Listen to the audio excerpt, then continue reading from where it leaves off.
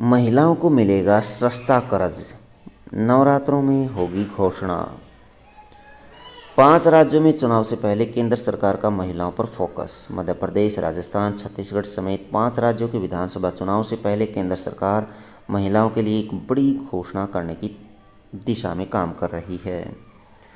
सूत्र बता रहे हैं कि महिलाओं के नाम पर लिए जाने वाले हर तरह के कर्ज की ब्याज दरें पुरुषों के मुकाबले कम रखी जाएँगी। इससे संबंधित योजना की घोषणा नवरात्र के दौरान हो सकती है।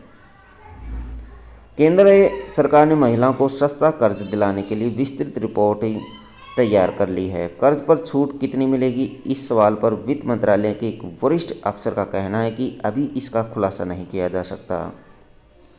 लेकिन यह संभव है कि 30 से 40 लाख रुपए तक का होम लोन लेने वाली महिलाओं को ब्याज में छूट मिलेगी। यदि महिला होम लोन के को एप्लीकेंट हों तो भी छूट मिल सकती है। माना जा रहा है कि बैंकों के अलावा एन बी एफ़ सी संस्थाएँ भी कर, सस्ता कर्ज देने की योजनाएँ लाएँगी।